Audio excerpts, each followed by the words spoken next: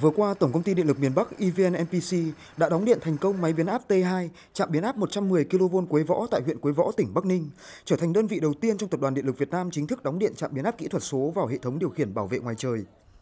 Trạm biến áp kỹ thuật số được thiết kế với công nghệ hiện đại nhất trên thế giới và mới được áp dụng trên lưới điện các nước phát triển trên thế giới như Mỹ, Đức, nhưng các kỹ sư của EVN NPC đã hoàn toàn làm chủ công nghệ mà không phụ thuộc vào các chuyên gia nhà sản xuất. Theo đó, thay vì sử dụng các mạch tín hiệu, điều khiển và đo lường bằng cáp đồng từ tụ điện ngoài trời vào nhà điều khiển, đã được chuyển sang sử dụng hệ thống cáp quang với hai sợi cáp truyền dẫn. Điều này góp phần tiết kiệm chi phí, giảm thời gian thi công lắp đặt, đảm bảo tính thẩm mỹ và tiết kiệm thời gian trong công tác vận hành. Đồng thời, việc thay thế cáp đồng bằng cáp quang còn giảm thiểu nguy cơ xảy ra sự cố chạm chập trong quá trình vận hành.